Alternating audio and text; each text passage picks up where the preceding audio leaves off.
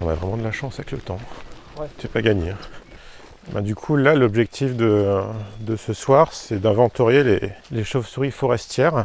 Il y a des chauves-souris qui sont spécifiquement en forêt et qui vont notamment utiliser des, des cavités arboricoles, d'anciennes loges de pique, pour gîter, pour mettre euh, bas leurs jeunes. Ce suivi est, est complémentaire au suivi des sites d'hibernation. Chaque hiver, on réalise euh, un comptage dans les cavités euh, abritant ces chauves-souris. Attends, on va déplier le filet.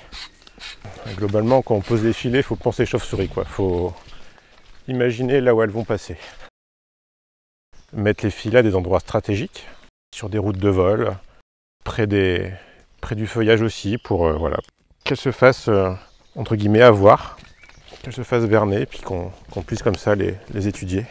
Donc là, on a fini de poser les filets. Donc là, on a juste le temps d'installer le poste de mesure avec tout ce qu'il faut pour pouvoir déterminer et mesurer toutes les espèces qu'on va rencontrer. Et puis en forêt, du coup, enfin, l'obscurité tombe plus vite. Ouais. Et les bêtes vont sortir plus tôt que- qu'en zone de bocage ou qu'en qu'en village. Quoi. Globalement, les meilleures heures, c'est quand même les deux premières heures de la nuit. Alors, comment tu t'es foutu, toi? Un grand rhino pour commencer. Doucement, doucement, doucement. Euh, femelle allaitante direct. En début de nuit, ça veut dire qu'il y a une colonie pas loin. Eh ben, c'est très bien, on va se dépêcher d'aller les faire. Le, le but, c'est vraiment qu'elles, euh, qu'on les garde le moins longtemps possible pour qu'elles puissent aller euh, chasser, euh, etc. Donc voilà le grand Alors, qu'on reconnaît du coup avec son nez spécial en forme de, de fer à cheval et qui lui sert du coup à, émettre des ultrasons et à pouvoir se déplacer dans la nuit euh, dans des boisements très touffus sans aucun problème. Un gros mangeur de papillons et de, de coléoptères, notamment de, bousiers. Une de nos plus grosses chauves-souris euh, en Normandie. Donc là, on lui mesure l'avant-bras, 58,2.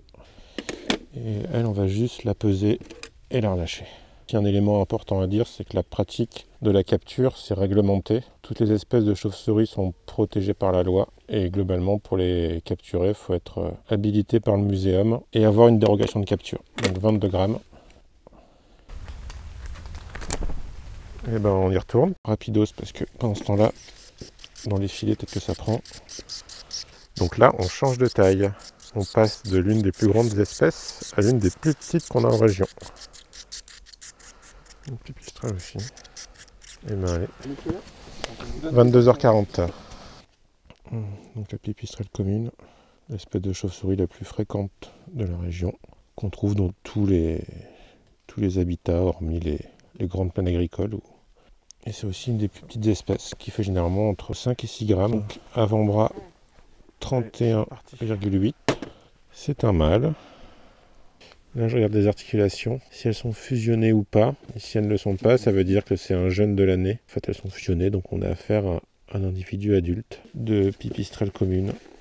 Ben, du coup, en faisant des tournées toutes les 5 à 10 minutes, en fait, on passe notre nuit à, marcher, à retourner au, poste de mesure, mesurer les bêtes, identifier et repartir à nouveau. Donc c'est des nuits où on ne s'ennuie pas.